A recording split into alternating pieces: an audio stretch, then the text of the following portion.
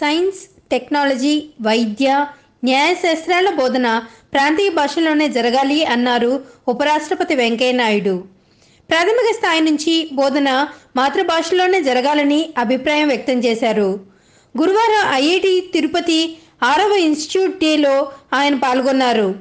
ఉపరాష్ట్రపతి ఐఐటి ప్రాంగణంలో మొక్క నాటారు.